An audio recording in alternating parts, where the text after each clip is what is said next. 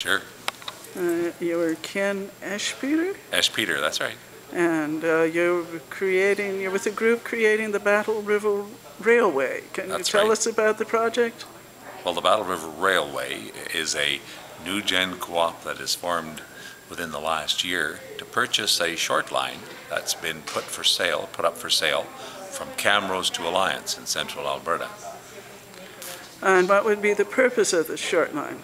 Well, historically, the line has run through some of the uh, best grain growing farmland in central Alberta, and our intention is to maintain that line so we can continue to move producer cars of grain from along the track out to its uh, original destination, which is Prince Rupert. Is this a cooperative effort?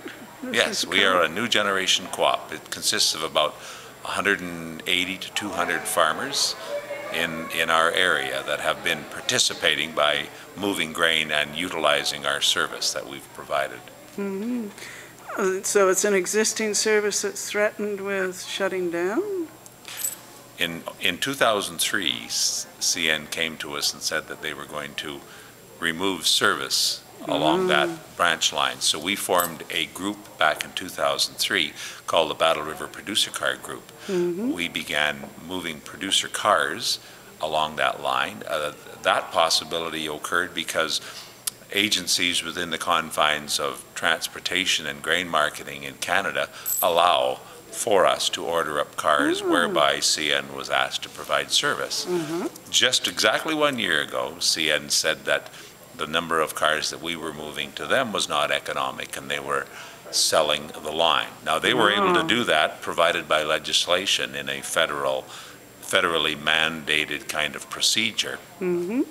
We, we wrote up a letter of intention to buy the line, and for one full year now, we've been negotiating, and we have finally arrived at the point here, just a few days ago, where we are starting to sell shares to raise the capital uh, to, to buy the line.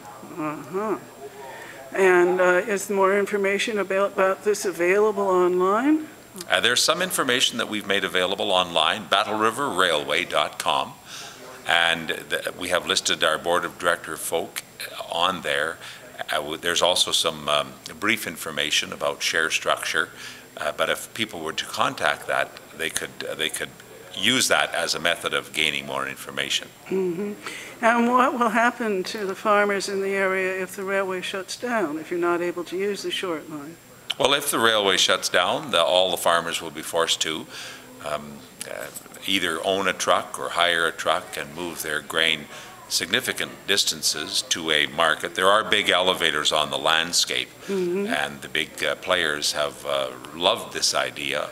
Basically, what happened when we created these big, um, big elevators on the landscape, they downloaded the majority of costs of grain movement and marketing to farmers. Oh, okay, yeah, so, so your cost would increase substantially.